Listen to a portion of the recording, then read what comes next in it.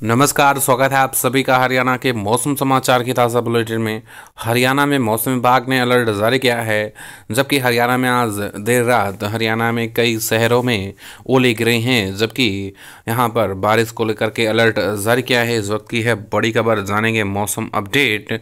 इसके साथ ही बता दें कि पंचकुला में भी ओले गिरे हैं और रिवाड़ी शहर में ओले गिरे हैं। बताएँगे पूरी जानकारी और कहाँ कहाँ ओले गिरने की संभावना है, क्या है मौसम विभाग ने अलर्ट किया है है जारी आई जानते हैं मौसम अपडेट। अगर आपने अभी तक चैनल को सब्सक्राइब नहीं किया है, चैनल को भी सब्सक्राइब ज़रूर कर लें, शुरू करते हैं वीडियो को।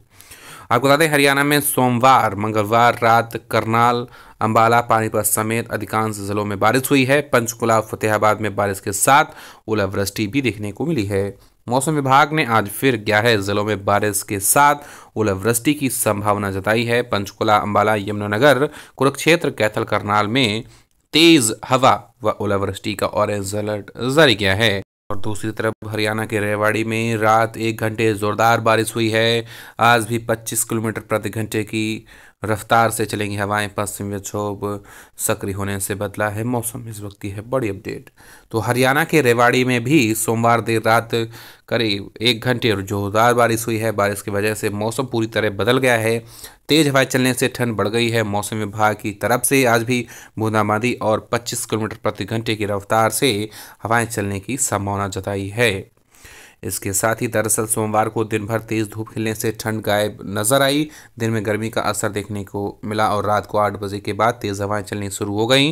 रात सवा ग्यारह बजे मौसम पूरी तरह से बदल गया, पहले हल्की बूंदाबांदी और फिर करीब एक घंटे तक तेज़ बारिश हुई है।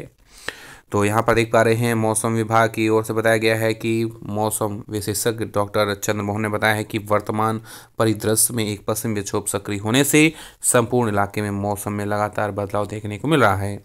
इलाके में सुबह से ही 20 से 25 किलोमीटर प्रति घंटे की रफ्तार से सतही हवाएँ चल रही हैं। ये बड़ी अपडेट निकल कर आ रही है। इसके साथ ही एक सक्रिय पश्चिम विक्षोभ के प्रभाव से पश्चिमी पाकिस्तान क्षेत्र के ऊपर एक प्रेरित परिसंचरण तंत्र बना हुआ है। और यहाँ पर आप देख पा रहे हैं, मौसम विभाग ने बताया है कि अब पंजाब और उत्तरी राजस्थान पर पहुँचने की संभावना है। इसके प्रभाव से 20 फरवरी के दिन भी मौसम परिवर्तनशील बने रहने की संभावना है।